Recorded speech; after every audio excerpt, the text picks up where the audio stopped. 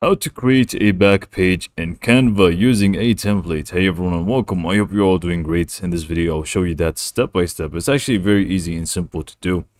Uh, so let's say this is going to be the um, template that we want to work with and we want the back page to be almost identical. So let's just go ahead and change the text here. Add some stuff just so we can uh, like get a feeling on how to actually do this. So you would want to, generally speaking, have your design here.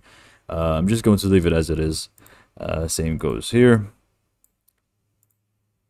Subheading.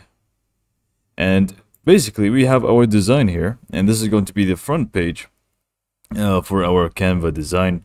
And basically, if you want to create a back page, uh, the normal way people usually do this is just click on add page and it's going to create a blank page for us. Obviously we can change the color of it. Uh, I don't know why it's that color but yeah we can just make it any page that we would uh, any color we would like. Um, and we can just go ahead and basically add elements here and it's going to serve as our back page. But if we want to create it as a template or from a template uh, just to make things uh, similar, but we can actually adjust some stuff in it. It's very simple. Just go to the templates that you would like to have, which is this one right now, which uh, includes the background, uh, these elements here, these books. We have the frame, and we also have the text here, which would be the thing that we would want to change uh, for the back page. So simply just click on duplicate page uh, right on top of it.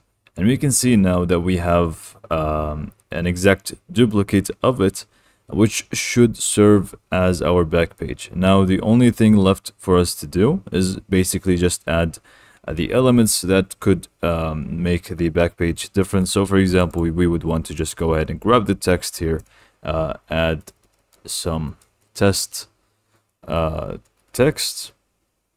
Uh, let's just change this like so. And here we'd want to also change uh, this text here as well. And we would change that as well. So, and we are done. This is pretty much how to do it. We can just go ahead and change the elements as we would please. And we have our back page from this template. And not only this, but it really depends on the type of template that you're working with. I got this from Canva Free.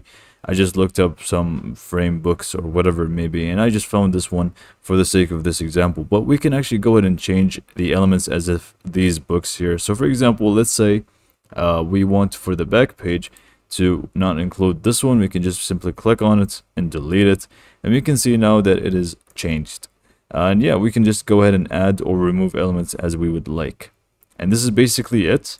Hopefully you found this video to be helpful and thanks for watching.